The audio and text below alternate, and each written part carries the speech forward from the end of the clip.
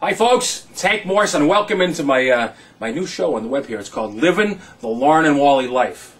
And you know what we decided to do? We decided to start out with the very lovable Walter Leslie Brine. And you know, Wally's he's a little off. Let's face it.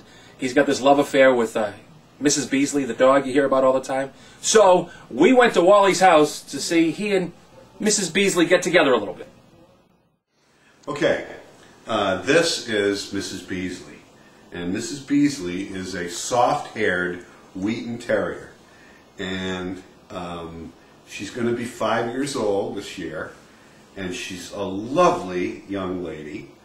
And she's very, very affectionate. We spend a lot of quality time together.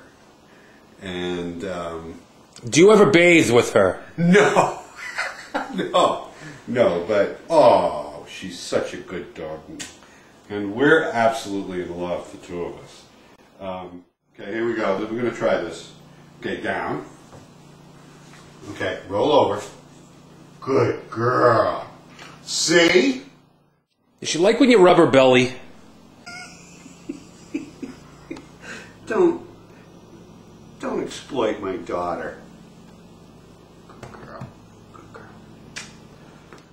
She knows that I have food. I have uh, treats in my. Do you have the in treat? my pocket. You have them in your fanny pack. I have them in my pocket. Come here. Come here. Come on up here. Come on up here. Okay. Now, I want you to sit down so that everybody can see how beautiful you are. She's hunting for chipmunks right now. She's never caught one, but Wheaten Terriers, chipmunk hunters. oh yeah, they're um, Very British. critters. They're always after uh, critters, any kind of critter. Does she ever come across a skunk? No, thank God. I've had dogs that have been hit by skunks, but not this one. All right, that wraps it up. Uh, this is the first edition of Living the Loren and Wally Life. And uh, thank you to Wally Brine and Mrs. Beasley for inviting us into their home.